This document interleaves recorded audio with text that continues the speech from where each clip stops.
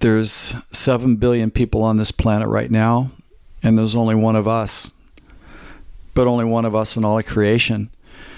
And that really empowers us with some unique opportunities to cultivate and grow our uniqueness and create a life based on that without comparison to become our own champion in those areas that are important to us.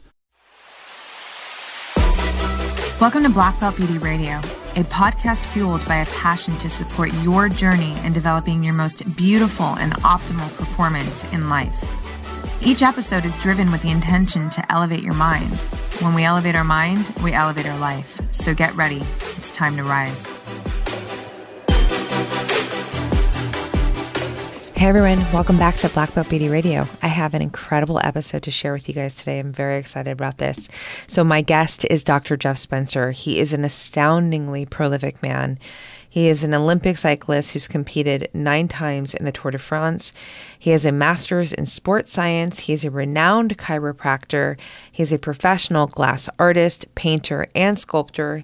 He's a published author. You guys, he has high performing in his DNA. So, Dr. Jeff Spencer has worked as the corner man, coaching some of the greatest leaders in business, sports, and entertainment, such as Sir Richard Branson, Tiger Woods, Lance Armstrong, and U2. He is the creator behind the Champions Blueprint and the Goal Achievement Map. These are highly effective tools to develop peak performance and goal actualization. So we met through our mutual friend, Dr. Gabrielle Lyon, and immediately we connected into a very meaningful, high performing conversation. In that brief but very substance filled meeting with him, I knew I had to get him on the show to share his incredible backstory, his powerful mental framework, and perspectives that have not only helped to develop his own wealth of successes, but additionally the successes of some of the highest performing humans on earth. So before I hit play, you guys, I have a few asks to support this podcast. If you love this episode, please throw it up on your IG stories and tag me. I'm at Roxy Look, R O X Y L O O K, or Black Belt Beauty. You can tag both. And if you really want to support this podcast and throw love this way, you can leave a five star review on iTunes. I read all of them, and I'm actually going to start sharing them on my IG stories as they come in. They definitely just inspire me, fuel my process. I mean, they they fill my heart. So thank you so much in advance for all of you who are going to take the time to do that. And without further ado, I'm going to hit play and let you drop into this very inspiring and thought provoking conversation with Dr. Jeff Spencer. Enjoy. Jeff Spencer, Dr. Jeff Spencer, Jeff Spencer. I've been called Hey You by family, the corner man, Jim, Man, Joe. badass, inspiring man. I mean, there What's your name again? Ways to intro you, um, all of which are so inspiring. Thank you so much. I'm so excited to have this time with you. I've been looking forward to it all month. well, that's great precedent. Well, even longer than that because I think we met a month and a half ago now. Thank you to our friend Dr. Gabrielle Lyon. Oh, she's a beauty, real gem. Oh my gosh, I love her so much. And you know, I think we had like 20 minutes. Um, It was high intensity, though. It was, we compressed several hours into 20 minutes. It was. it was so good. You know, we went right into an epic conversation that I could have kept going with you on. And one thing that was so fun right off the bat was how you rolled up with your food, and so did I. And like I was saying, Love at first sight, you know. truly. Seriously, I'm that's a- the one. That's an initiation. That's like a seal of approval. Really? Right? Oh, we're the same kind of people. Because that's always a standout for me. It's like I always have my food with me. You never know, right? it's too risky. It's Too risky, I love yeah. And I just got to try your keto roll that you had with you that day that I didn't try. That looks so good, and I can say that I cannot wait to make this recipe at home. It's so good. Well, thank you. Yeah. So thank you so much for carving out time of your busy schedule. Easy to do. with me. Easy to do. Okay, so you are gnarly because you are so prolific, you are so accomplished, you have a body of work that is so incredible. There's so many places that I want to go with you, and I'm notorious for rabbit holes, so I'm gonna say When I feel our, us descending, I'll know that we're en route. Exactly. Okay. One thing that I want to ask you right off the bat is what does high performance mean to you? Well, high performance really is where you're performing at a level that you're capable of. And, and th- that, of course, has different levels to it. But the thing that I tell my daughter, ever since we adopted her 10 years ago, even before she didn't speak English, we didn't speak Spanish, as she was leaving to go to school, the last thing that I would always say to her when she left the door to go to school, I'd say, don't be average. And it's like I, I, she didn't even know what that meant. That word meant nothing to her, but I wanted the neurons to become ingrained to the fact that this is a metronome that sits in the background that's always running. And to me, average is kind of the antithesis of high performance. And we all have our own high performance, whatever that is. And I do believe that we're here on this planet to manifest that. And we need to honor it because it is a gift for us that deserves to be cultivated and grown. Because when we are able to manifest our goals, it showcases to other people what's possible. And we need examples in this world of how do we get to next or how we, do we get to bigger rather than a pontification, we need a living, breathing example that we can look at and we can trust that process. And that's why high performance is important to me. And that's my kind of operational definition. That's beautiful. That's powerful. So your dream to become an Olympian started at a very young age, right? You were, I think, seven. I was seven. Was seven years old. yeah, old. I thought it'd be cool. I did. How did that? Wait, can we go there for a moment? yeah, um, sure. yeah, just. Did you feel like? So were you already very driven? First off, I was very athletic. Anything that involved jumping, running, bashing into people, throwing things. I mean, I was all in just because it was an exploration and it was part of my natural style and inclination. So yeah, and I and I do have this self-start gene. I'll say that. You know, it's not that I'm hyperactive, ADHD, or inspired to create a monument to self, to uh, draw attention to myself. But you know, my driver has always been that there's a big world that needs to be explored. And I think that for me, if you can answer the call as it's presented, and my motivation has always been to explore the possibility. You know, it's not reckless, it's responsible, but it's not dismissive, and it does honor insight in revelation. And I'm completely okay with being subservient to something being presented to me for consideration. You know, it doesn't always have to be my idea. Yeah.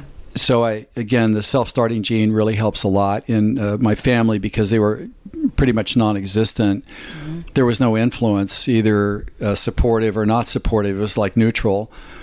And fortunately, I thought that was normal, and I had the natural inclination and curiosity to pursue things. And I felt honor bound to follow the path and to uh, explore how far something could go for its own sake. I was never like an angry athlete that I'm going to show you guys you're wrong because you told me I couldn't do it. Mm-hmm. I'd never been motivated by that or out of fear of lack, and I'll do something now that I think I need later because I'm afraid of later.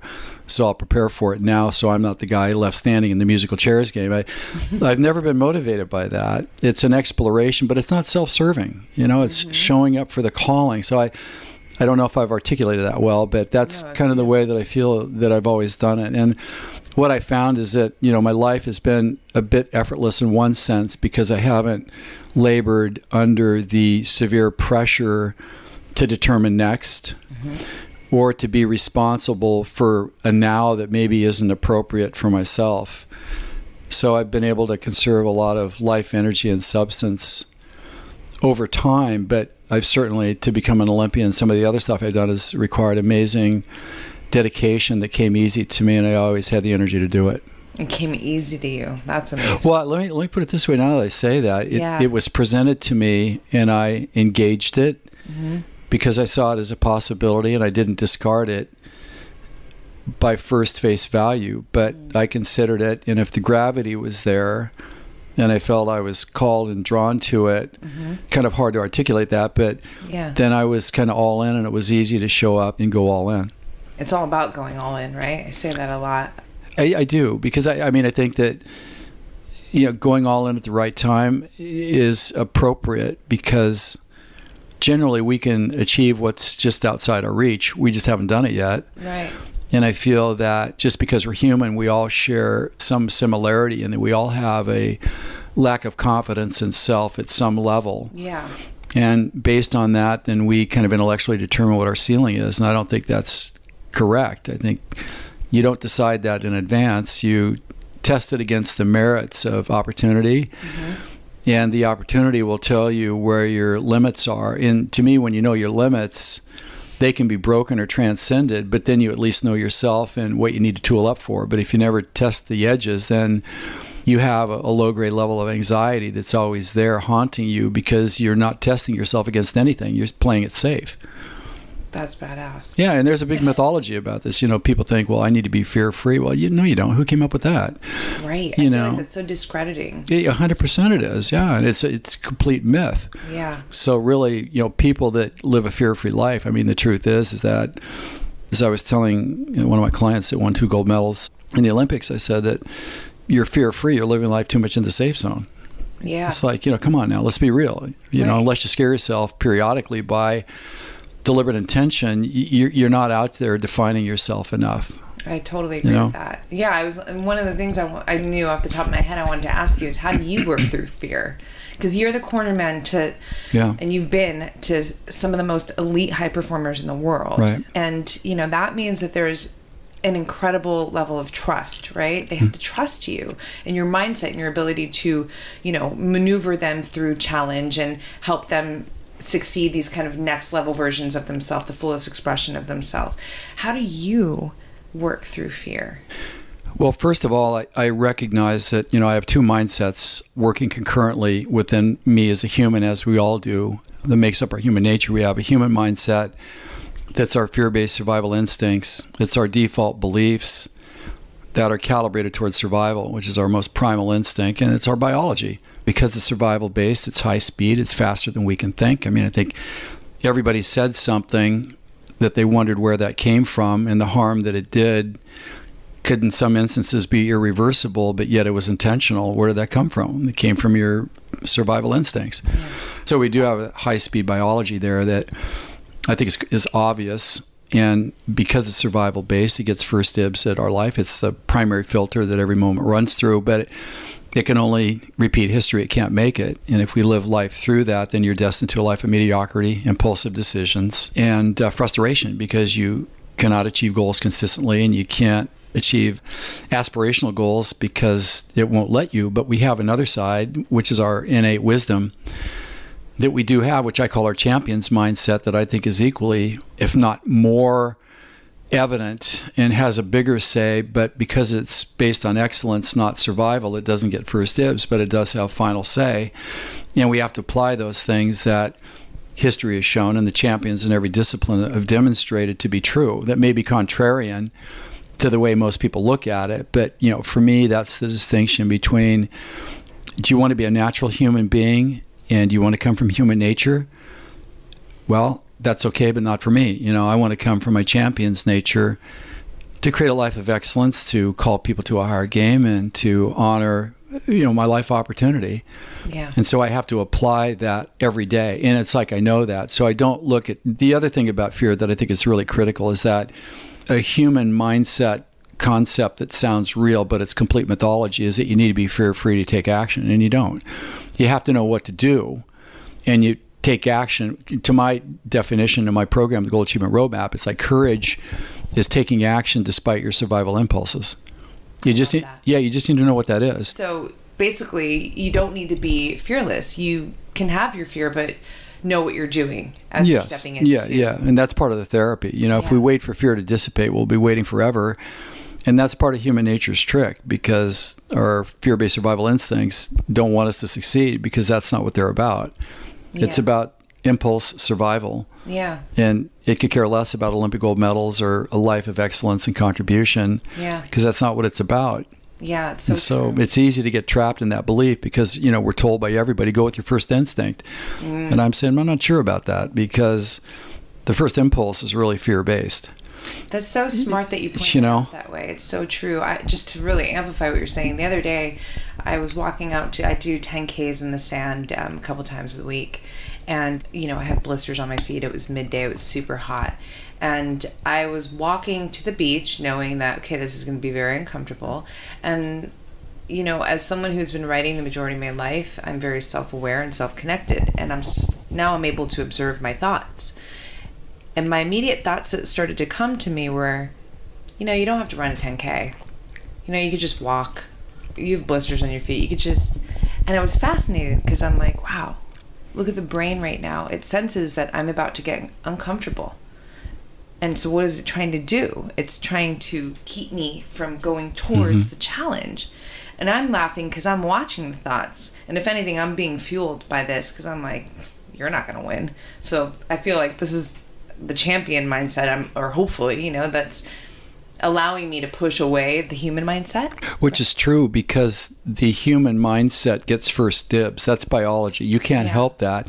Yeah. We can't shut it off. It's on 24 hours a day the battle between the two is for control of our decision making and it's with us every waking moment for every day of our life. Yeah. And if we recognize that, then we don't feel like we have to overcome it to supersede it. We right. just have to apply what has to go right to manage it while we stuff it into the background by pulling the champions program up and putting it into the foreground on the desktop.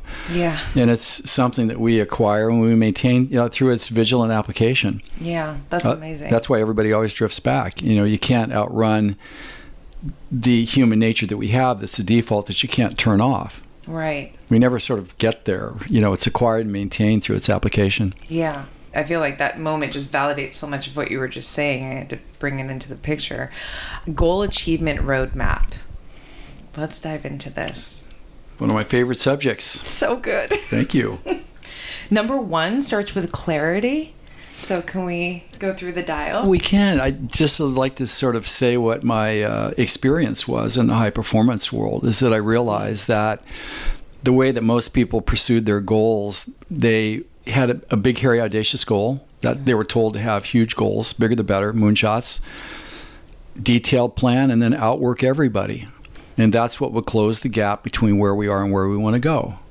And I call that the gap model. The gap is this elusive hole, this space that's empty, void between us and the goal. You work hard, you stay vigilant, you don't give up, you remain positive, you think good thoughts, you believe, then you try harder, you believe a little bit more and with that, everything will backfill, then you'll achieve your goal. And I found that that recipe sounds right. It seems like if we try hard and we have a great plan and it's detailed, that we should get to where we want to go. Yeah. But that's not what history tells us. To me, most people have goal frustration 90% of all the people that I know know that they're capable of more. They want more, but they can't get to more based upon what they do. And they may be doing what all the experts say, but they can't move the needle. Yeah. And that's because, you know, in that model, in my opinion, from what I've observed, it's ubiquitous. It's the mantra, but it, it can't deliver. And so I looked at what I was doing with my clients and I realized, well, the gap, the hole, isn't empty. What sits in that space is a two part process. Mm-hmm. Each of those parts has got five steps that I call the goal achievement roadmap, meaning that we take the goal that we're considering pursuing, and then we look at the first part of this, which is preparation. How do we prepare to pursue this goal? Mm-hmm. And there are five steps. You get goal clarity because it gives you goal focus. You look at your motives because it gives you drive. You look at the impact of your achieved goal on yourself, others, the world around you, your legacy. That gives you purpose. We're still in preparation. We're not even pursuing it yet. And then we look at mindset. Do I have the mindset to do this? Mindset gives us courage. And then we look at our resources. Do we have the time, the talent, the team, the materials, the roadmap, et cetera, to actually do this? And when we've gone through a correct preparation, then we trust our preparation when we trust our resources. That's step number one. Not step number one, but division number one. Yeah. We've got to prepare first. Yeah. That's what the champions do. Preparing means that you're ready to begin the journey. You have jungle fitness before you go into the jungle. Right. The jungle's dangerous. you can get hurt in the jungle. Most right. people go into the jungle without any preparation. Right. And then when they find out that they're lost, then they look for the map and they don't have it because there was no preparation. Right. So the second half is performance. First you prepare, then you perform performance is actually the path that you take pursuing your goal. Mm-hmm. And there are five parts to this. This is where we kind of start the process. And we must have a deliberate starting procedure that gains its initial traction. If we don't have that, then we can trip out of the gate, which is bad for everybody. Right. You may not get momentum back, you may lose all credibility. you have to have a first measurable sign of goal progress that you achieve first that confirms that your preparation was correct and it mobilizes team. Then the next step is the honeymoon. Mm. This is where we're all excited because we have some indicators that this is actually going to work. And this is where people oftentimes go out, especially startups, and they overspend. Yeah. And they get laxed on policy. They don't look at their schedules. Then things start to disintegrate prematurely. Mm-hmm. And everybody panics. And what do we know about all honeymoons? They all wear off. Yeah. right. go away. Right. So right. when we get to that point where it's not fun anymore and we're just getting started, yeah that's supposed to happen. Mm-hmm. But most people think drop in motivation means that wrong plan, I can't do this, wrong team. Right. They misinterpret it. Yeah. And then they quit prematurely, which is tragic. Mm-hmm. So the idea would be to have a reality check where there's a recalibration. Mm-hmm. And then the third step, while you're pursuing your goal itself, is what's called the daily grind. Mm. And I think we can all recognize that it's what it sounds like, where we're putting all this time and effort into it, and we're not getting anything close back to what we think we deserve from the time and effort. Yeah. It's like, man, this sucks. You know, I don't know if I want to really want to do this because yeah. you know I've got a little resources left. I don't see any progress. I'm not feeling good. I got battle fatigue. I'm tired. You know, my team's on edge. People are starting to backbite each other. Yeah. This is looking pretty grim. Maybe I should get out. Well, you know, you actually may be one step away from your breakout. But if you know that the daily grind is supposed to happen and you know how to stay in the game, you know how to recognize it, you know how to prepare your team for it to get through it. Yeah. Then the team stays together. They have that one next step, and then one day they get up and they believe that they can do it. That's a major milestone. Yeah. You know what it's like where you're struggling, you're fighting day in and day out, and all of a sudden you get up, hey, you know what, I can do this.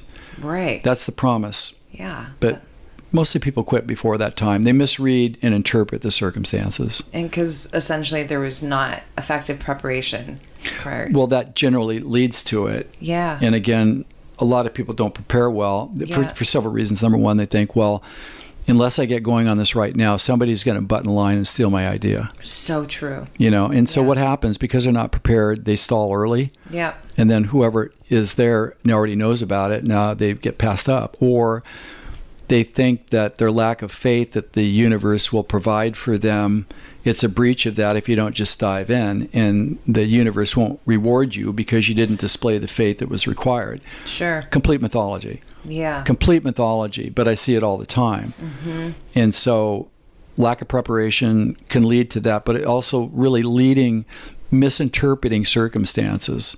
People sure. think well this is really difficult therefore it was bad management and poor planning and I did this because I chose it on the other side, or, you know, I swore the other day, so therefore I drew bad stuff into my life. Right. Which isn't true either. Like, the daily grind is part of every significant goal. You Absolutely. just ha- you have to expect it. Right. And you got to know how to deal with it. Yeah. and you have to prepare your team for it. Like, how do we know we're in it? What do we do when we're in it to get out of it? Just the two other steps when you're performing. This is boots on the ground. This is live ammo. This mm-hmm. is where blood flows. Yeah. This is the real deal. This isn't preparation. This is the real thing. Yeah. If you get through the daily grind, then the ninth step in the 10 step process is where you have to go from knowing, believing you can do it to knowing you can do it. Huge difference. Belief is, I think I can do this, I have faith I can, but there's still some doubt. Right. Knowing is, I'm confident and certain I can achieve the goal because I've demonstrated something that has showed me and team that we can do this. And that's called a breakout. That's huge. Yeah, and we have to name that. Right. And that's a purposeful part of what we need to do at a certain point in the goal achievement process. Yeah. And if you get to knowing, it's literally game over because you know you can do it. Once you know you can do it, I think we've all had that experience where you know what, I can do this. Right. This is over. I, I'm going to make this happen. And it's almost like the preceding eight steps are all geared towards creating breakout where you go from the belief to knowing. But there's one last opportunity to screw it up. And that's where uh, once you know that you can do it, one final step, which is finish. That's where we can rush to the finish line to get there quickly so nobody cuts in line or we don't botch it. Just imagine you're, you're in an airplane and you're at the end of the journey and you hear the pilot say, We're on our final approach. Does the pilot slow down or does he speed up to get on the runway faster? What does he do? He slows down. Yeah. Because the idea is let's get on the ground safely because right. we know we can make it. Right. So why are we rushing and tripping at the last second? Because if you don't finish, you don't win. Right. And so I think a lot of the mythology of goal achievement, certainly, you know, my program answers all of it through the 50 years of experience that I've had in business, sports, and entertainment. And a lot of our decision making is based upon mythology and what we think it is or what's been recited enough for us to believe it, but it's not true at all. So I feel like most of the problems that we inherit are preventable, but we need a roadmap that is our true serum against our presumptions that we believe to be true that aren't. It holds us accountable for being ready and not starting before we're ready. Or let's take the reverse of that, starting when we're taking too long to get ready and we still think we need to read another book or another course. We still haven't started yet, but we're just getting there. So, yeah, we need something like that that's historically based that gives us indicators that have proven themselves throughout history to advance us uh, towards our goal achievement. It's so powerful, and what's so cool is that you you know it's really refreshing to hear all of this. It's mythology, and I think that one of the most incredible things about you know what you have been creating, what you know the goal achievement roadmap, amongst so many other things, champion mindset, champion blueprint. The thing is, I think what you're doing is you're making it very possible for people to realize that they can first of all accomplish great things and mm-hmm. then actually be able to execute mm-hmm. right and i think that that's you know both of those are so important first you have to be able to see it right you have to have the vision believe that it's possible and then you need a sound plan and that's usually i think i don't know actually what's harder well it's actually that the, the biggest should i say myth of all is that goal setting leads to goal achievement mm. Yeah. It isn't. Goal setting is like setting a target. Yeah. But there's another side to this is that there's all sorts of goals out there. There's impulsive goals, there's premature goals, there's big, hairy, audacious goals, there's moonshots. Moonshots. There's smart goals. But, you know, people that I know, they want the right goal. Mm. Because when we have the right goal, we have an alignment in our mind, body, and soul that is committed to the goal because it understands the goal because it's gone through a rigorous process, a goal selection and vetting yeah. that's confirmed that it is the right goal. And in my experience, most people they choose a goal, but they're more focused on the outcome that it's going to bring to them than a relationship with the goal itself. In holding the goal itself sacred by developing a relationship with it. So I created a, what I call the right goal criteria, where we're actually taking our proposed goal that we're considering pursuing, mm-hmm. Which I call a provisional goal, meaning that hold on, it, it's a candidate right now, but l- let's vet this against the right goal criteria. So let's make sure that this really is the right goal. So each of the letters in right stands for something that we have to defend. Like, is this goal relevant to me? If so, how? And is it relevant enough for me, for my mind, body, and soul to align with it? That's an important question. Very. Totally. I love that you incorporate heart, mm-hmm. body, and soul. I mean, you're really looking at it from a 360 perspective, Correct. which I think that's the power right there. And Correct. It's usually very one dimensional. Correct. And one dimensional goals, when they get tough, you start thinking about running for the exit. 100%. Because you, you can't defend that which you're not in alignment with you're relying on what it's going to give you is the motivation but the relationship to me and that's why we have to really confirm that it is relevant enough for us. It doesn't have to be perfect yeah. but is it enough? And also the eye and right as indicators. Mm-hmm. you know what are the indicators that tell me that this is the right goal for my mind Mm-hmm. Is it big enough? Is it a challenging enough, or is it narcoleptic? I mean, seriously. and if totally. it's underwhelming, well, maybe you don't want to think about it. But let's be honest about it. Right. And if it's highly exciting, but it doesn't scare you, mm-hmm. then okay, we're in the sweet spot. Yeah, it is up for consideration. What about the body? Right. Does your body really want to go through this? I mean, you know, I went to a Tour de France once, and I knew I was going to sleep three hours a night for a month you know, and I got the call to go two weeks before, and I was already dead from doing something. And you know, my body needed to vote on the goal, which it will. And, and we experience how our mind, body, and soul vote by a level of preoccupation or restlessness mm-hmm. is the extent of our alignment. When we have enough alignment, then we have tranquility, purpose, we're energized.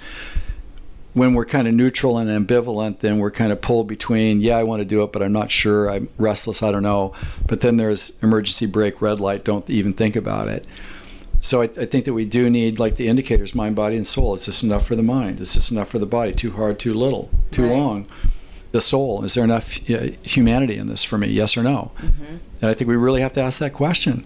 Yeah. You know. I agree with you. And then we look at the uh, more numerical tangible side of the uh, experiences and the benefits as well. And then the G and right is gravity.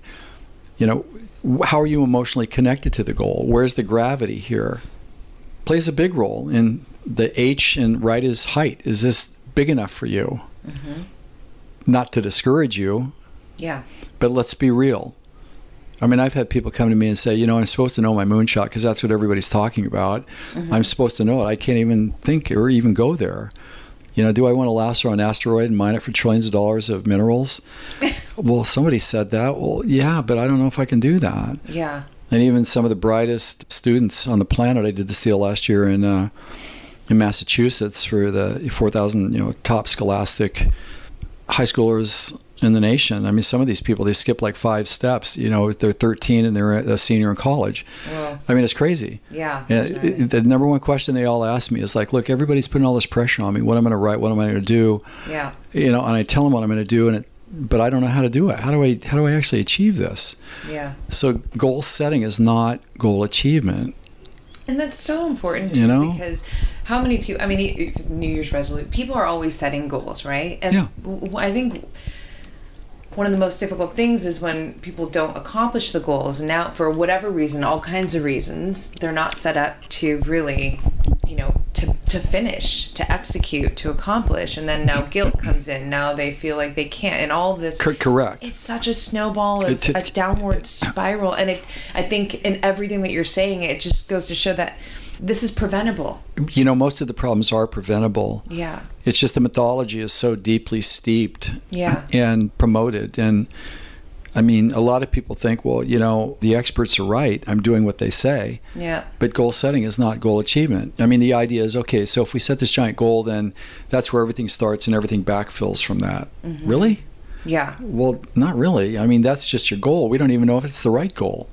So or huge. yeah, and if we follow the gap model, correct? Yeah. Well, we don't even know what's in the gap. Right. So how do you mount a defense against the gap, and how do you avoid what's in there if you don't even know what's in there? Right. So, so, true. I just, and, you, and you can't even enjoy the journey as much, right? No, because you're on edge all the time. You don't right. know when you're going to walk off a cliff. Right. I mean, seri- seriously. so true. Ser- seriously. And you want to enjoy the journey because then you can extract all the things that you know are going to allow you to become a fuller expression to not only achieve the goal right because then because I don't ever think it's just about the goal. I think it's absolutely about the journey and who you are becoming absolutely the way to the goal, right? Because let's just say we're prepared, we've finished the goal, we're already looking at the next goal, right? Yes, you should be actually. You should be, right? Yeah, yes. So it's really, I think for me, it's, you know, I really look at it like, well, who are you on the way there? Who are you becoming? And being so constantly connected and aware of that is so important too. It, it really is. And kind of add to something that you just said there that, like, when we're talking about the journey, well, what is the journey? Can I name even where I am on the journey? No, you can't because a goal ambition or a spreadsheet, that's not a map.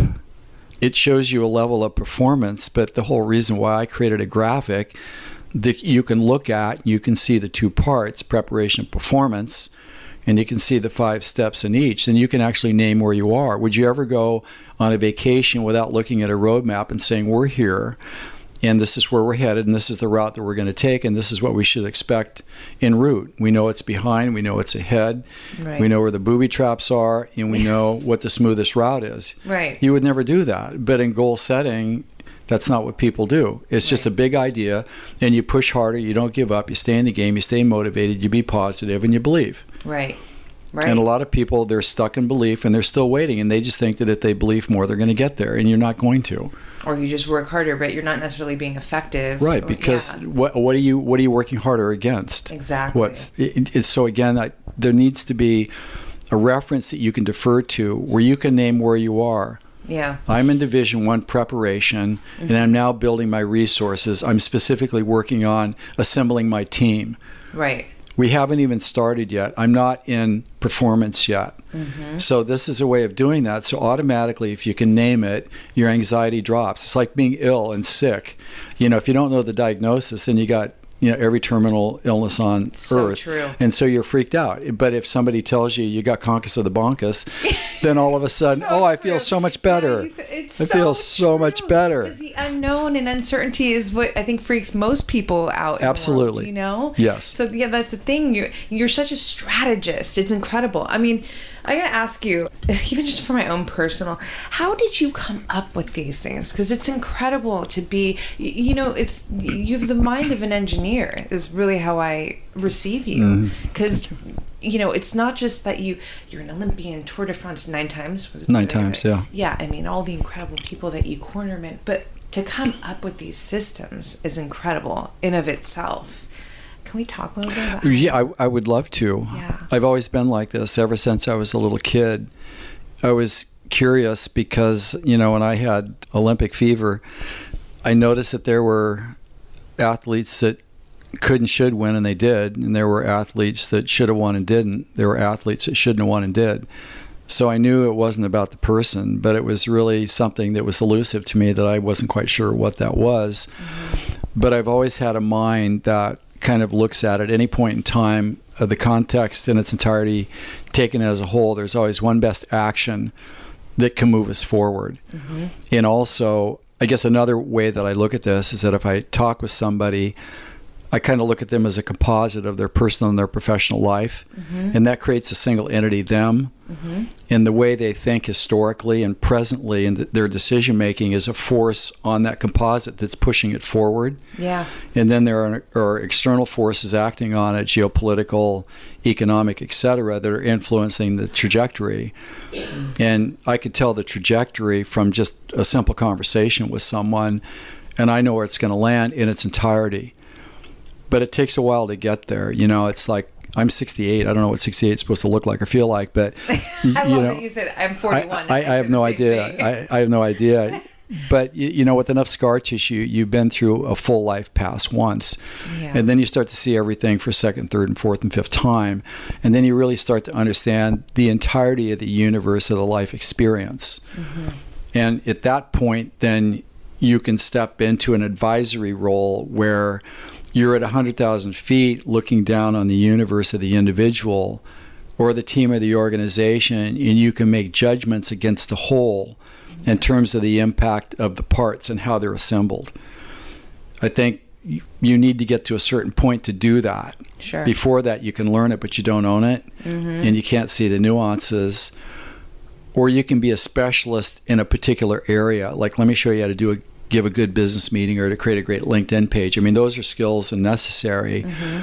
But there's kind of a, a reading of the tea leaves that is the context of the reality as it currently is in real time mm-hmm. that needs to be looked at, in my opinion, so that every choice is made against the impact against the whole over time. I love that. You know, and Yeah. that's what I do with my clients. A good choice today that hurts you tomorrow, it's a bad choice. Right.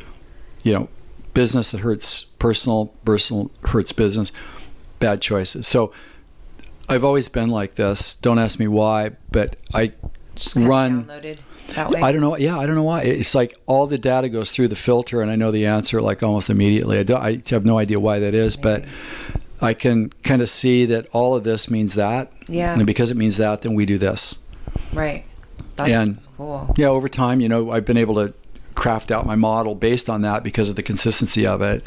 Yeah. So uh, there are some things that we can be absolutely certain of that history tells us.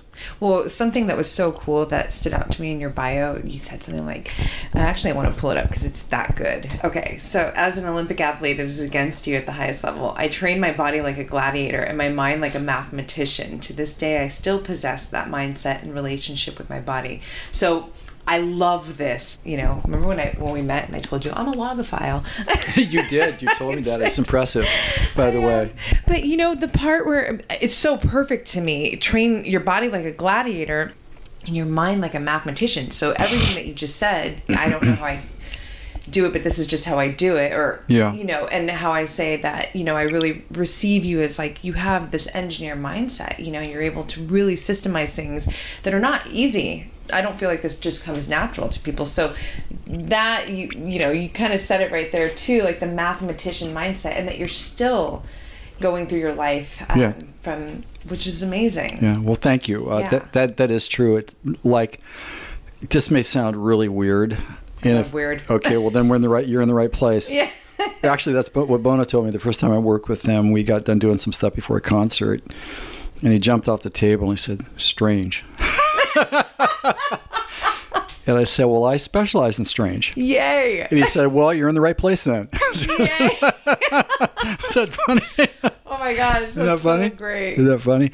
So this is the only way I can say it. Is that like when I'm talking with an individual or a team, my first task is to get a full purge of all the variables that make up their universe. And every time they tell me something, if you can kind of imagine that it, it's shaping a piece of clay, everything they say is shifting the clay. And at the end of the conversation, the, the clay has got a set form. And that form tells me the story. I don't know how to explain it, I think that's beautiful. but I see it and I know exactly what this means. Mm-hmm. And because it means this and this is what we do, I'm never going to tell you. You got five choices, and whichever one you want to follow, I'll support you on that. I would never say that. Yeah. I would say, all things considered, one choice. This is it.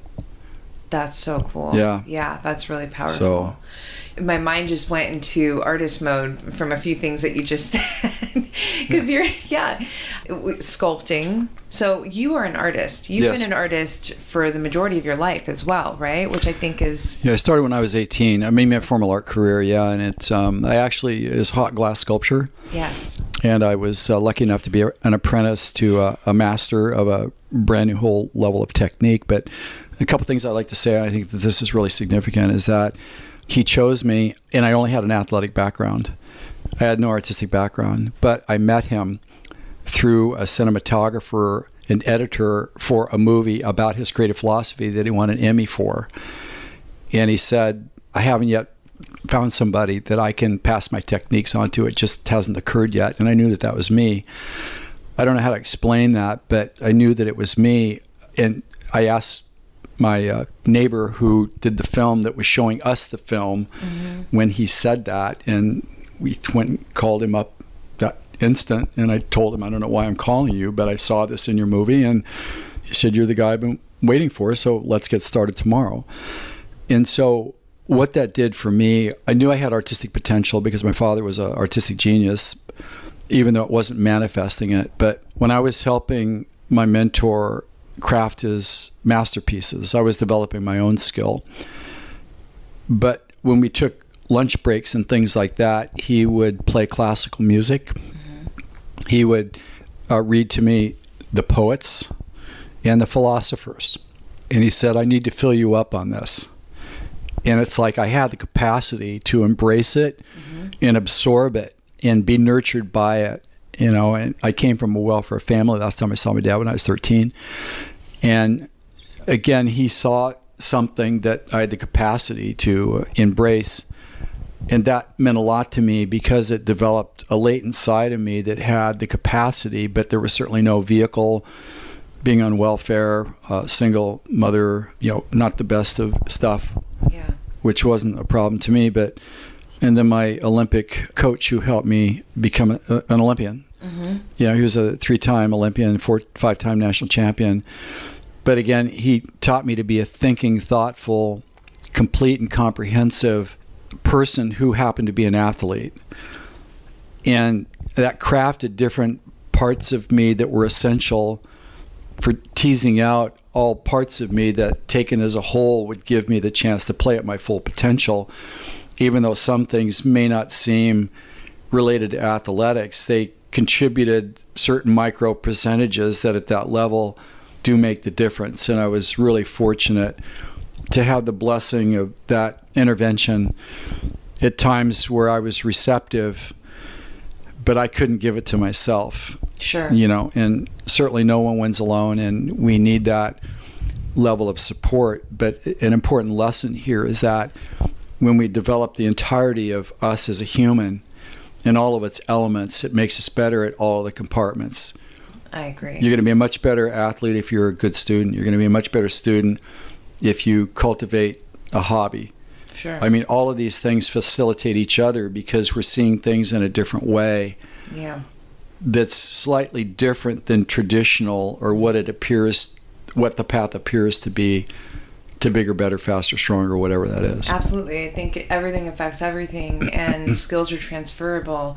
I say this a lot. You know, people ask me, what do you compete in? Because I'm very athletic and I have so many different modalities of movement. And I would always just say life. Life is my sport, right? And so the things that I gain from sport are so transferable because I'm an artist as well, right? Yeah, and so, you know, to be a freelance artist is gnarly. It you is. know? it's like it's a whole it's a beast but my athletic you know i've been an athlete my whole life too hmm. when i was younger i was a competitive runner but that stopped and i had the dreams to go to the olympics too but that stopped when i started surfing and then it was just all about surfing hmm.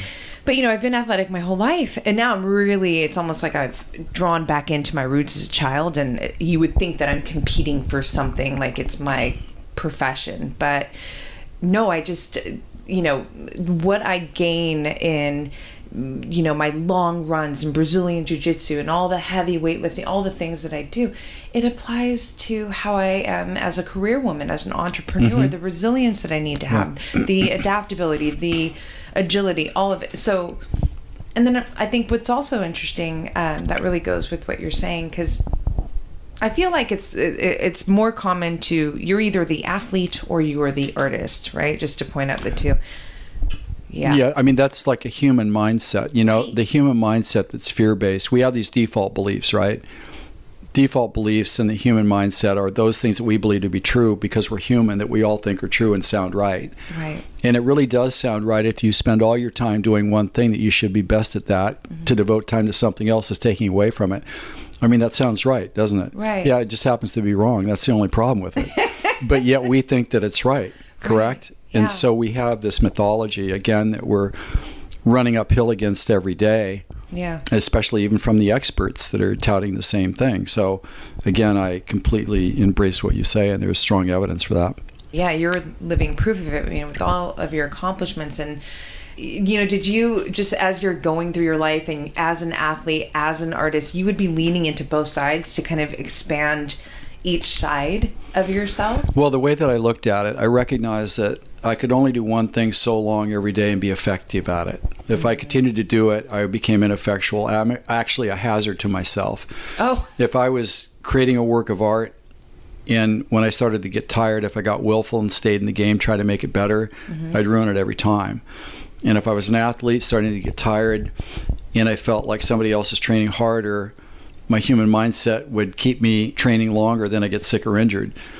So there's an optimal time, and I realized, well, we have different compartments that make us up, whether they're in our brain or wherever they reside. Yeah. We're only effective maybe three hours at a specific subject matter at the very most, and then we go dull.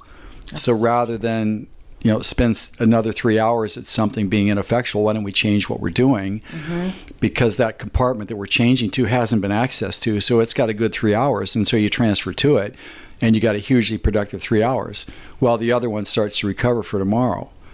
And so I realized, great. yeah. So I, you know, when I was practicing, uh, you know, my practice, I had, uh, you know, I'd work maybe five hours.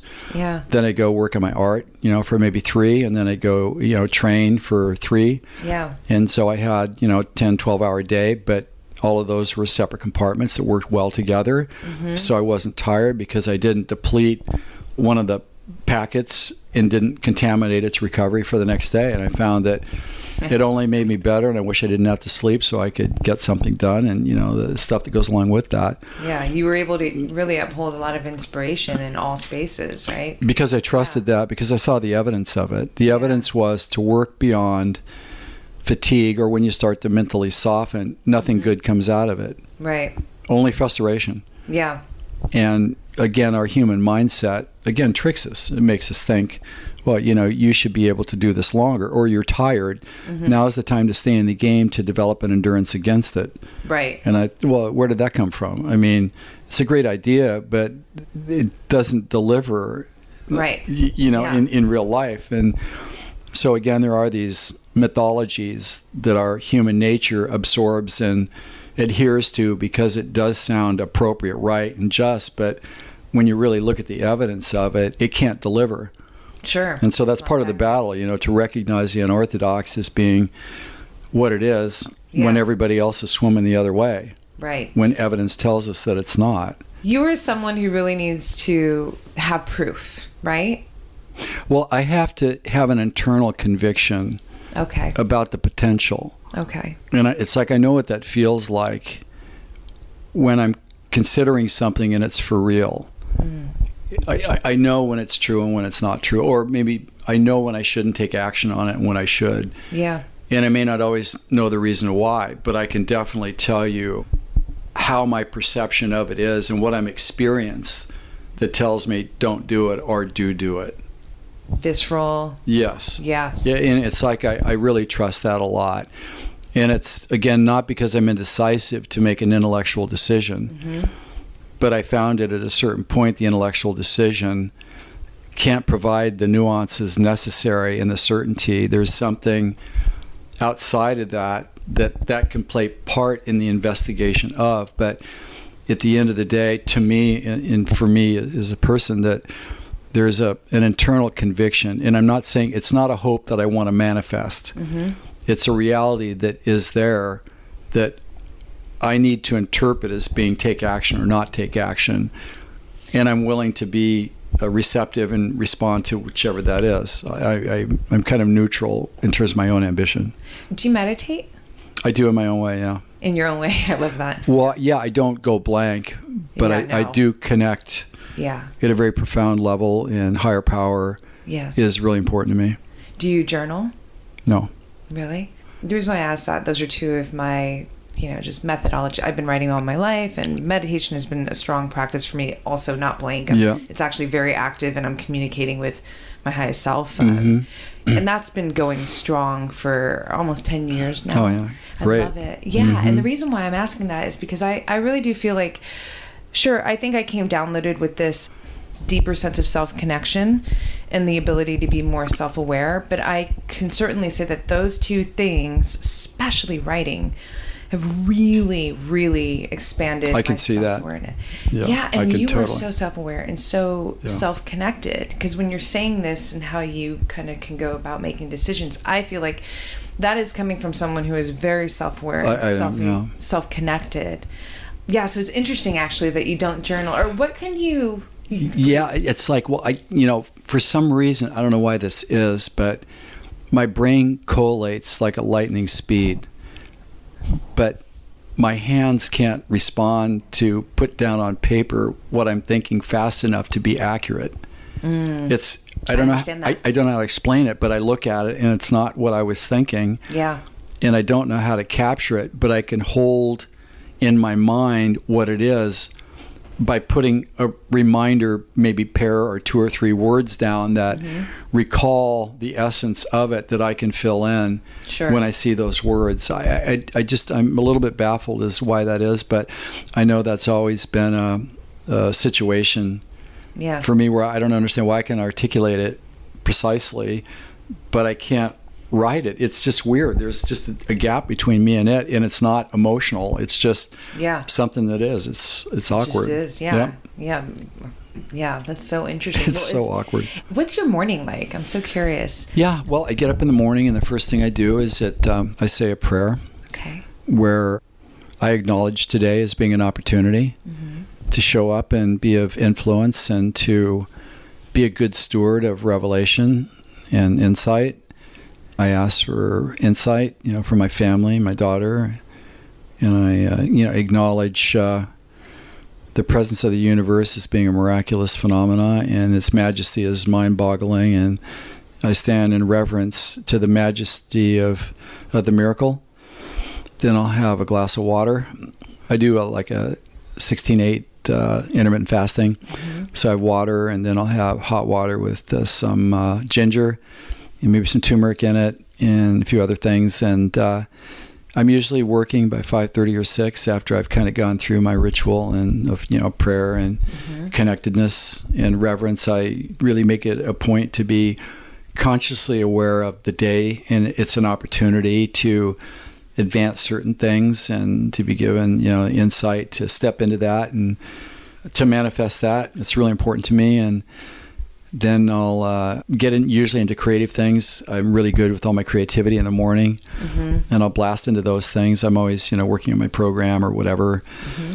And then I have clients that are scheduled generally in the afternoon. Depends on where they are. If they're uh, in Europe, then it, it, would be some other time. Yeah. Maybe early in the morning. You know, yeah. six, seven, eight o'clock, just to be on. Uh, I talked with a guy today from the UK at uh, 7 a.m. Yeah. So it's like that. I, I, ride my bike every day. You know, I go out and turn the pedals every day and you know, feel really good on the bike. And I'm a kinesthetic learner, and I need to kind of get out and percolate and cogitate and you know chew on things a little bit. Yeah. You know, and kind of run them through a couple times. And I ride generally by myself, and on days I, I ride hard, I, I ride hard. Days I ride easy, I ride really easy. Yeah. I never punish myself to an extent that I would not be able to recover for the next day. That's important. Yeah, for me, you know. Yeah. And I always have time for my family. I always connect with my daughter in the morning before she goes. And I'm faithful to my clients. I eat well. That works for me, kind of a keto bent, yeah, you know, and cooking. And I'm always sort of experimenting with things and, you know, I'm having a good time with that. Can you talk a little bit about, because, you know, I was telling you before we started the podcast that, you know, I really Black Belt Beauty, my lifestyle is really high high performance, but it's holistic high performance. So yes. it's really looking at everything from the whole picture, and that's why, you know, for me, I I kind of see it as everything in life is just information, really everything, food, conversation, I mean everything, and it's I think what separates us is the kind of information that we choose to absorb, mm-hmm. and then also the information that comes at us that maybe we didn't choose, but how we respond to it. And that's how I really kind of this is my idea of what separates us as humans. Mm-hmm. But just to go into the value for you personally as such a high performer from mind and body, right? It's really one thing. The value of nutrition, the value of movement, you know, steadily in mm-hmm. life yeah, sure. Well, I, I think a fundamental side to this is to have uh, an understanding of what we can learn from nature and nature's design. And that's that. You know, one of the hot topics is always we're going to 10x something or we're going to moonshot. You know, we're talking exponential, but what does that mean and how do we get there?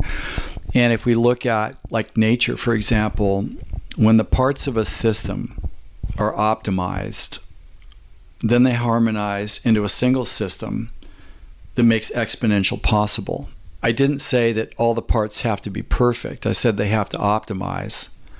So if we look at the systems of the body, you know, the body doesn't know it's made of systems. It only knows itself as one thing. You know, the anatomists have carved it up so we can learn it and study it, but that's not the reality of like what it is. And if we look to optimize the parts that make up our life, without chasing perfection because it's not necessary. You can't get the exponential by being perfect in one area and getting C in another. You, can't get there. But if everything is like an 85 percenter or a 90 percenter, then everything goes exponential. And that's where the magic happens. And so I feel like our lives, if they're managed around that, and I also want to say that if you're going for symmetry in the system, that 85 or 90 percent where they're optimized, that that's not a compromise some people think it is, and they just can't live with it because their human nature won't let them go there. They just can't believe that 85% is enough, or they can't believe that more rest is going to help them recover and be stronger. They just can't go there. They just can't get outside the mythology. Yeah. You know, again, the recovery to effort and the symmetry is really important, and that's not a downgrade. You know, people think, well, we're harmonizing I, think harmonizing is a better word than balance. Balance sort of means that you're, you, that you, know, yes. that, that, you're sort of pounding down the high nails right. to an average, so everybody, right? You know, it's like no, that's not. I don't way. even think there's such a thing. It's like harmony just feels better. Yes, yeah, yeah, yeah, they're they're harmophile. yeah, I, I'm right there with you, man. Totally. Yeah, so I, I think that that's really the target for us. Yeah. But being a choice to say that less is better to keep harmony and be okay with that. Mm-hmm. But to watch the human tendency to think that you're giving something up and you could be better, if you stepped into it with more gas, which isn't true. That's a human nature Yeah. response that's incorrect to longevity in like performance. Totally. I'm sure a lot of people listening right now are taking a deep breath, like, breath. Yeah, Because it's so, and especially coming from you, you know, someone who is just you validate you. You are a high performer. You take people to the next level. Organization. So to come from you to say, hey, that's actually false. It And, is. Yeah, that's really important because, you know, I think if most people think the opposite. They will do that. Well, that's the fear based human nature. They're afraid that if they don't do it, they're going to lose something. Yeah. So naturally, the fear side of us will choose that option. Right. And it does seem real. Yeah. I mean, it really does seem real. Right. But in reality, if we look at the evidence, I mean, how many times have people gotten to a place where they're absolutely disgusted with themselves Mm-hmm. and then they say, I quit? It's so. and they take a month off, then they come back better than ever. Well, that should tell us something. You don't need to bury yourself to get better.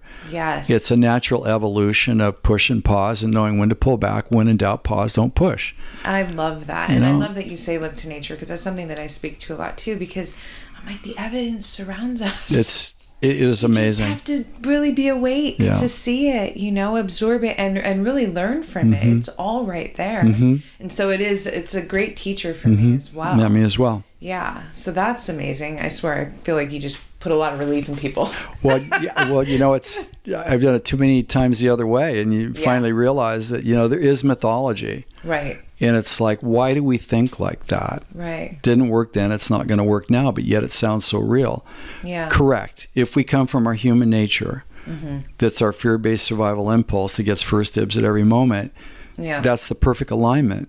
right. And we can't shut that off. yeah. It has to be superseded by something. And we had, just have to apply that which keeps us moving forward without succumbing to the, you know, the myth. It's so helpful to hear this too, because I would like to think that most people on this planet have a champion in them, regardless of I think they do. right. Absolutely. You know, you don't have to be an athlete. You know, you just Absolutely. We're all here performing, and and that means essentially we're all here living, right? And there's Mm-hmm. a performance and living, and so I feel like in that there's also a, a potential champion that's living within us, and it's about accessing that champion, right? Yes. And I think that what's so great about your work is that you make it, like I said earlier, you make it possible. You get like, oh wow, okay, I can see this. The human mindset, the champion mindset. I mean, there's. It feels like it's more attainable, and I feel like people listening to this, you know, who maybe haven't considered the champion that lives within them. Will now start to investigate, like, well, where is this champion in me, right? Because Yes. yeah, Yeah. Well, if we look at the skills that we have and our natural inclinations, yeah, that will tell us a lot. right, And if we look at what it is that we really want versus how we respond, I think that's another contrast that will reveal to us what the other side is. I think we do know what we want, yeah, but the pull of human nature is generally stronger because it gets first dibs. Mm-hmm. And it's yet that which is put out there by, you know, media and all this other stuff yeah, that can't take us to where we want to go. It's not possible because it's not calibrated to, to do that. Right. I helped a guy win a gold medal here at the Olympics. I said, look, you know, like you think you got to be perfect to win. Mm-hmm. And I said, that's complete mythology. You know, your brain has tricked you into thinking that perfect jump equals gold medal. And that sounds right to the mind, but to the person that has experience, it's not about that. It's being appropriately prepared enough, having a good warm up, mm-hmm. and knowing what to do when and executing on that. yeah, right, Again, there's so much mythology, yeah, and our truth is based upon which mindset we're deferring to because they're, again, vying for control over our decision making. right, There will be things that make sense mm-hmm. to the human mindset that have not proven themselves one bit to deliver. Human mindset, people given an opportunity, the first thing they're going to ask is, What do I stand to lose? Mm-hmm. You never see a champion do that. They would ask, What do I stand to gain? Two completely different universes. totally, Given an opportunity, human nature, well, I'm doing my best. You know, they've already decided what it is in advance without even trying. It's like a false ceiling that they've already talked themselves into without any challenge against the assumption, or the champions, well, you may be doing your best, but I'll find a way. I mean, why do you think I'm given creativity? Why do you think I'm given curiosity? Yeah. Why am I Right. given this? Right. Well, it's to find a way. So, again, I think it's a matter of really understanding our biology because this is hardwired into us. totally. It's not an aberration of psychology, in my opinion, or a socialization. You travel the world and people are incredibly predictable. if you see this, this is going to happen. Right. It's so predictable. Yeah. This is chapter four, actually, in my program, by the way, mindset. It's all about this. Mindset for me is everything. So one of my hashtags on Instagram You're hoarding it. is train the mind. Well, no, and the reason Yeah. for that is because you know people always want to know like how do you stay so disciplined? How do you stay so motivated? I'm like, if I really am trying to like, okay, let me dissect. Let me get into myself. Everything for me starts in the mind, and I do operate from a very empowered mindset, which I feel is so aligned with the champion yes. mindset, right? Yes. Yes. Absolutely. you know and so anyways i love just the word mindset is just so powerful chapter four one thing that i would love to know because you're so strong-minded i would like to know what are some of the greatest or one if even to point out one single thing what's one of the greatest pivots mental challenges that you pivoted from in your life that allowed you to propel yourself further into this fuller expression of yourself Well, one skill that I've always had is that when I see a change has to be made, I'm fearless. I step into change immediately. okay I don't try to hang on to something that's outlived its shelf life. Mm-hmm. Like for example, I was you know working on my program in its early inception, and it was the Champions uh, Blueprint, which it really was. It showed the whole process in explicit detail, but it was too broad in a sense that people that had success wanted to develop legacy. People that didn't have success wanted to achieve goals. Two different aspirations, and having a single entity that addressed both simultaneously wouldn't work because they're two different populations. yeah So I realized immediately that I'm going to go with the goal achievement roadmap first. And so I went home that day. I saw that this is what had to happen. Boom. Conversion happens right now because there's no future in it right the way it is. So let's just do that. So I've always been able to stop something immediately and divert to the course of action that's revealed itself as being that you know prudent path to be able to move forward. That's one. I also pivotal moments. Uh, you know, for sure, when we adopted our daughter ten years ago at the age of ten, I was 58 when we adopted her. A 10 year old from Colombia at the age of 10. I, incredible to, to say the least. I mean, she didn't speak English. We didn't speak Spanish really she came from a life of terror, murder, prostitution, drugs, the gritty streets and you know social jungle, you know, of rural Colombia. And the raw substrate was no school, no language, ADHD, PTSD from all the abuses, of which all of them were there, and uh, severe malnutrition, a parasitic-ridden body, every risk factor known to humanity, a 20 on a scale of 10. Uh, it was formidable to address that. yeah You know, it's one thing to save a life, but it's another thing to be an active participant in crafting in helping usher a person away from that which she didn't ask for to be able to step into what she's capable of manifesting. That's a whole other conversation. And it was uh, full time for my wife and myself to uh, raise our daughter for the last 10 years.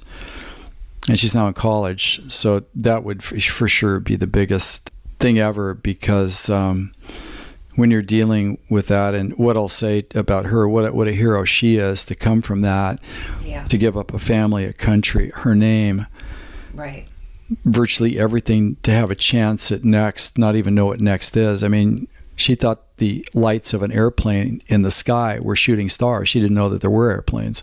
oh At 10, can you imagine that? yeah that's No toilet, no warm, never been in an elevator, never I mean, Oh, wow. seriously. yeah And so the scaling was just incredibly lopsided that required a lot of dexterity sure to be able to negotiate, you know, moment by moment to help usher her forward at the correct pace to catch up. Yeah. That required a staff of a thousand people to really step into it but you know, and also acknowledge her ability to adjust to a complete upside down exposure to her reality. Mm-hmm.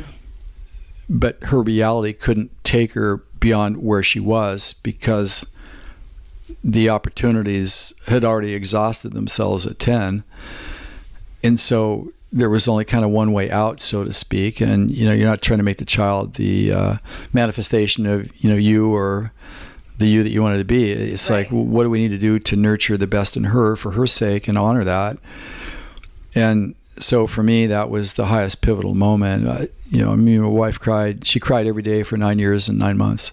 It was that difficult. That's incredible. It was that difficult, and most people give the kid back after a year because they can't handle the deceit, the lying, the cheating, the, the just yeah. the complete disregard for human decency. Right. And it's so disruptive to the relationship. Then the you know the, the adopted parents can get divorced because it's so destructive. Yeah. But the the reason why I bring this up is that. Um, pivotal moments. I mean, this was a huge pivotal moment. Not easy either. I mean, the challenge that you oh, to say the least, work through. Yeah. To do this in the best possible way for her, for all of you, really. Right. That's yeah. Yeah. Would you say that that's been one of the greatest challenge? That is the greatest challenge. Well, it's the greatest challenge and the accomplishment yeah. to, or, or the thing that I'm most passionate about that I would defend forever because you know, for us to, to step into this in a way that it deserved to be stepped into. I mean, mm-hmm we're not half parents or quarter parents or you know again our deal was you come live with us we're your parents right. Parents means all in. Mm. it doesn't mean being selective at least in our vocabulary. And so with her yes it was very difficult. But i mean quite honestly there's something in every one of us that needs some mechanism to get the best out of us. And when life is too good nobody changes. People actually get a little bit more whiny about stuff. And so I think that you know everybody has a rite of passage where they're called to something, and usually it's a uh, unrelenting challenge that you can't. It's not like a bad date; you can sleep it off and get up the next day, no problem. But no, you're saddled with this for forever. Yeah. And there's only one way to do it, and that's to get it right at least in you know my opinion and what is right you know you have to struggle to find out what that is as well so again for us it, best thing ever. I can say that after 10 years and now looking back because the challenges, the worst and the most difficult are over. Mm-hmm. And doesn't mean we're at the bottom of the barrel. You know, there's always uncertainties, but you know, to really say that you know, we all need a rite of passage mm-hmm. to have a certain sobriety that forces us to ask a deeper set of questions that we would never ask if life is too good like all the time and we always come out the other side a much better person. It doesn't feel like it at the time. And so in this instance, uh, I'm eternally thankful for it because of the opportunity. And she's a great kid. She's beautiful. She's a great, yeah. She's, she's a great kid. Thank you. Yeah. What's your favorite part about being a father?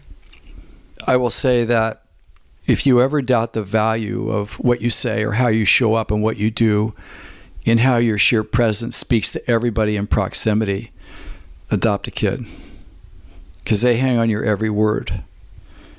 I mean, she used to hang on to me, wrap her you know legs around my waist, and just nuzzle up to me. She'd never been hugged, and so, I mean, we have that opportunity like every day to decide how we're going to show up for other people, and I just feel like, you know, we have the privilege of having an opportunity through this dimension. Mm-hmm and that we need to step into it. And part of the way we do that is that we show up for other people from our champion self and we call them to a higher game through our example and through our encouragement in those things that are difficult for us. We, in the privacy of our own life experience, we find a way through that. Yeah. You know, we don't make that part of the deal of our engagement like with other people. It's part of our therapy mm-hmm. in a certain sense, and it creates a level of discipline that we need to have. And some people may say, well, you know, you're not being authentic because you're not sharing with other people your disappointment and how difficult it is. It's like, I don't think that has anything to do with it. It's like, I think yeah. that, you know, on this is that, you know, to me, the sniveling self is the human self. I don't want to be human in that respect. I want to be, you know, I want to come from my champion self. To me, that's the expression of that, and that's what people deserve. You know, I love that you said this because I, in a recent podcast, I was talking about vulnerability, and I'm an extremely vulnerable woman. I actually feel like my vulnerability is a stepping stone to my strength. Yeah. They really go hand in hand. But in this particular podcast, I was talking about, you know, I don't mind sharing moments of vulnerability, but you're I'm not the one that you're going to see. This is a common thing now that you see on social media a lot too. It's like, yeah, the disclosure. Oh my goodness! Like where you get a free pass for the full disclosure. Oh, like there's literally Yeah. crying and the, and I'm not putting that down. but Yeah, of course. I, it, what I said is, listen, I operate from a very empowered mindset. So even as I work through challenge and difficult things in my life, how I am going to share to you is from this mindset. Yeah. And this mindset says, okay, yeah, you know what? Fuck, this is hard, but I got it. And it's Yeah. not me pushing away or suppressing the pain even the child i'm on my knees sometimes i'm crying but i still am going through it with this but i got it just to make it kind of simple to and i feel like that's just i That's it, man. what you just said Well, thank you. I just do believe that we need to be a, a hope, a beacon of hope and sanity and courage in today's world by showing up in a way that empowers people to step up, yes to give their best. And it's like, look, you don't have to be the best to show up the best. We're all kind of a work in progress, finding our way forward, right? yes And while we're sort of working on that journey internally within ourselves, we show up. And to me, our authentic self is the one that transcends the other self that's working it out. And that we're expressing that in a way that does call people to a higher game and gives them an alternative while we're working ourselves out. And, and we're not giving ourselves a free pass. By doing that, we're just saying that there are two different things that we need to make sure that we're clear that they're not the same thing. Yes. And how we do show up does make a difference and that's had people shown up different for my daughter she wouldn't have the challenges that she has. Right. But yet they did and she didn't ask for that. Now she has to unravel that and unscramble that mm-hmm.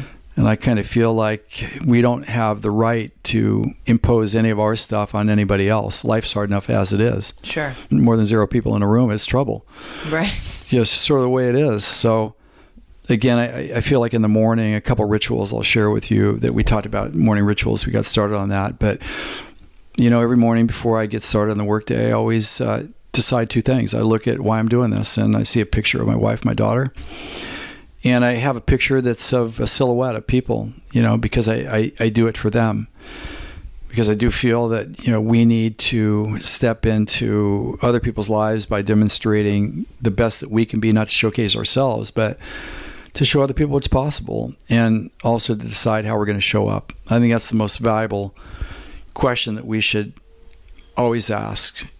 So those are a couple rituals I just wanted to share with you. I love that, and I agree with you. And I'm, my mornings are very, they're beautiful, and I am always, you know, really priming my mind and setting my attention and, and deciding. And I love asking myself questions that allow me to really prime my mind and essentially focus in that direction as well. You know, I think something that just came to me as you were saying that is, you know, you really are someone who has lived and continues to live with not just passion but with purpose with Yeah. vision you know and that it, purpose i mean that's that's a big word It is a big word. yeah and I, I think that it's so rich right and it's obvious that that's something that you have been and continue to be not just living with but you're fueled by That's true. yeah And that's deliberate. I think we need to cultivate that. You know, my definition of purpose purpose is actually the outcome for step number three in the program, which is impact.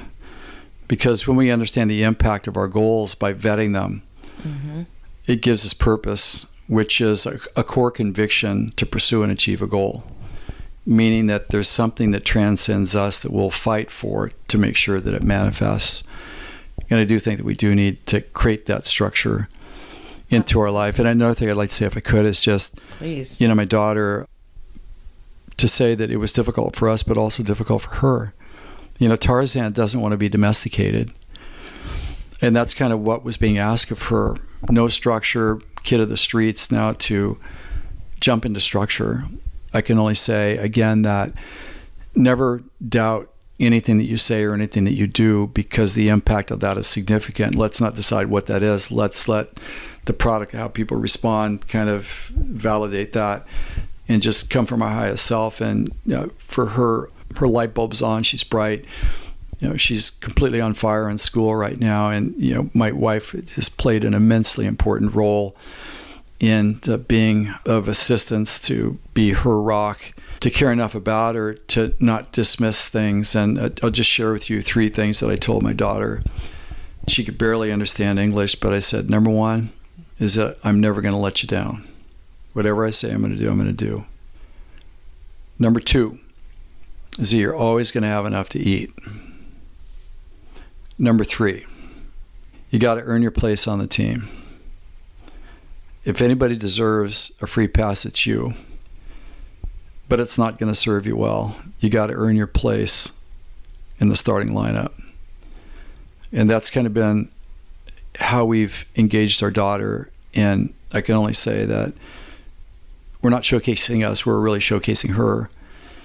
And that people are capable of amazing things if they're given the support, the tools, and the knowledge to be able to be given permission and take the permission to consider big and what it is that they really want. And then if you have a map that you can follow that tells you where you are and what to do, what's behind that maybe you need to catch up on before you move forward and what's coming. Yeah. So you avoid the preventable problems and seize the best opportunities, then you do kind of have a chance to learn the primal skill, you know, which to me is goal achievement.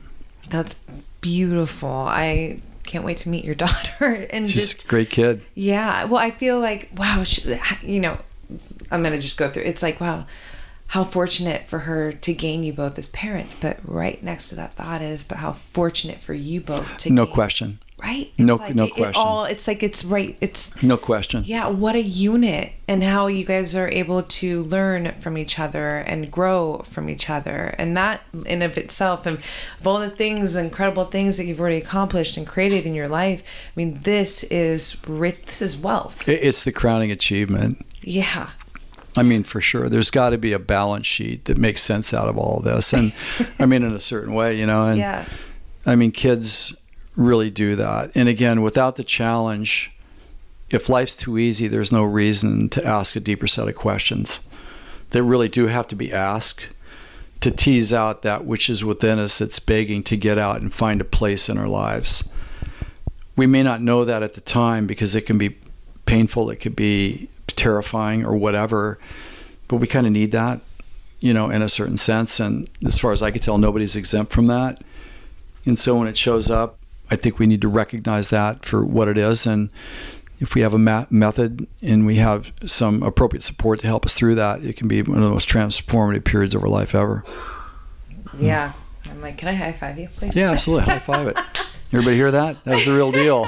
that was the real deal. I'm so elevated. Yeah. Okay, I have some. um Well, I have some fun kind of rapid words that I like to ask my guests. Yeah, Um, perfect.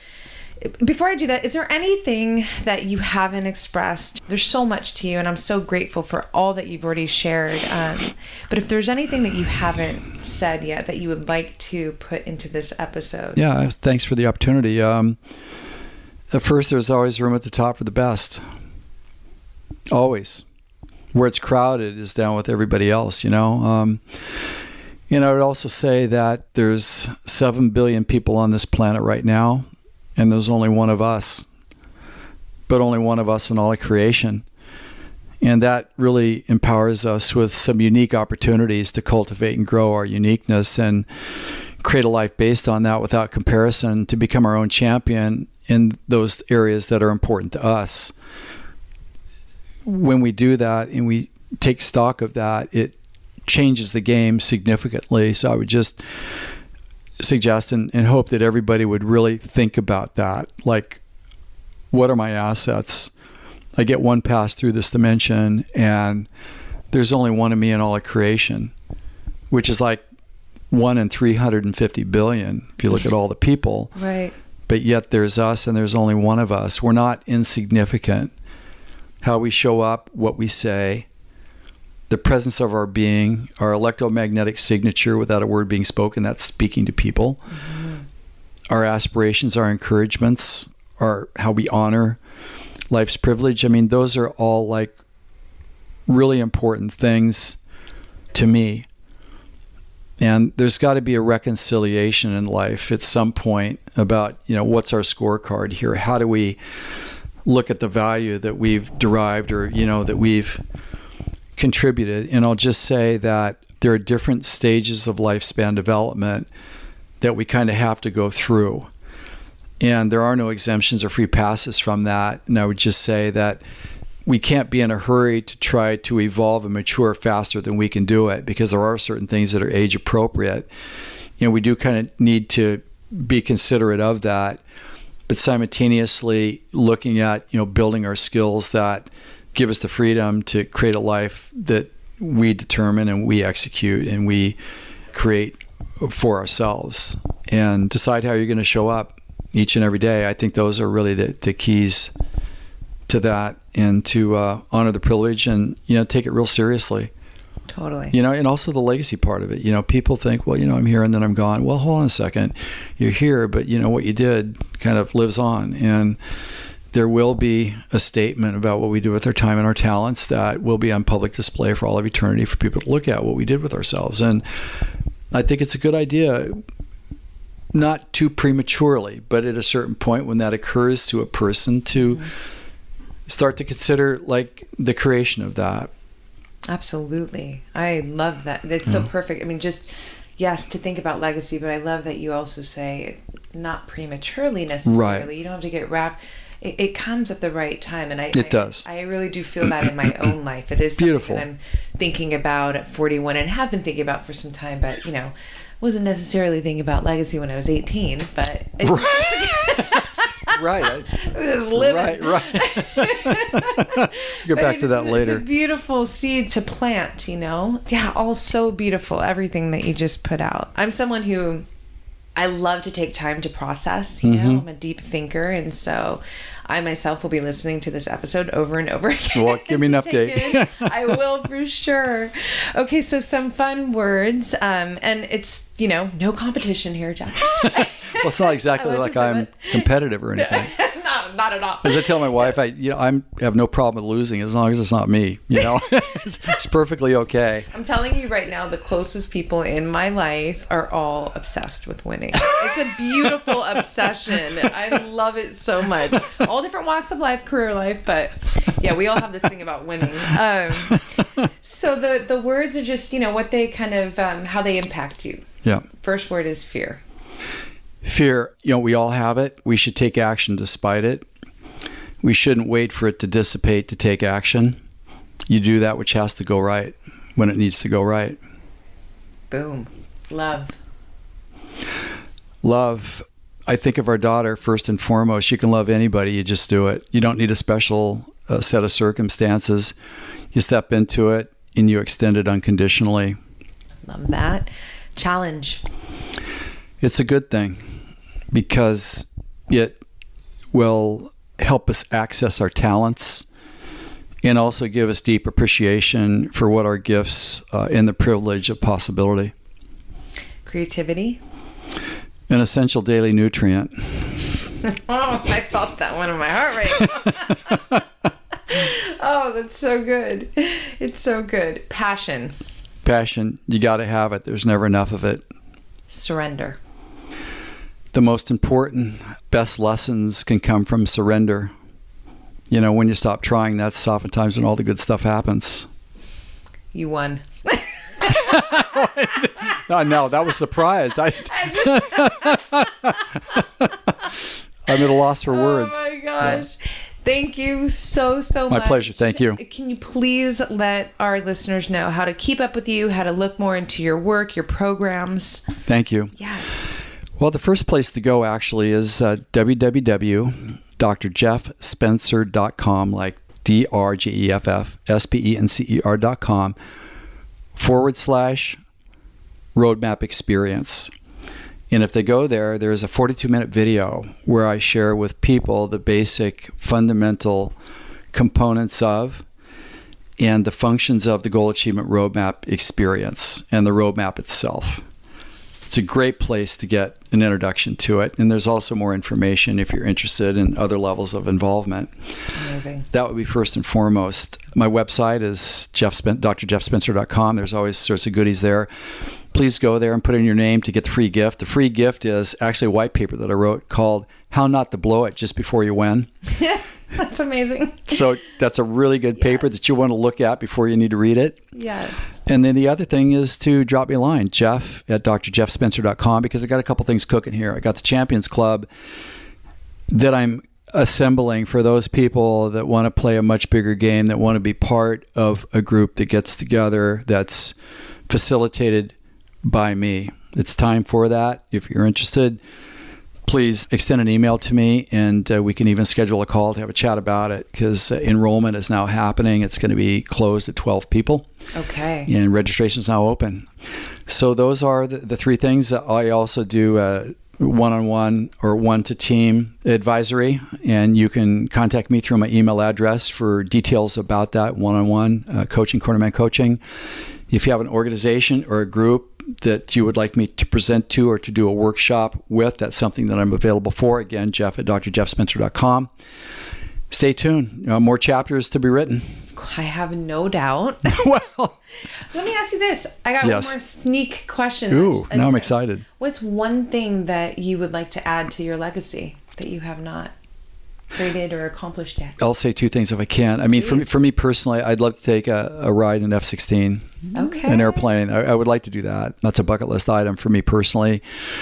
But I think on the personal side, what's really important to me is family. I love my family.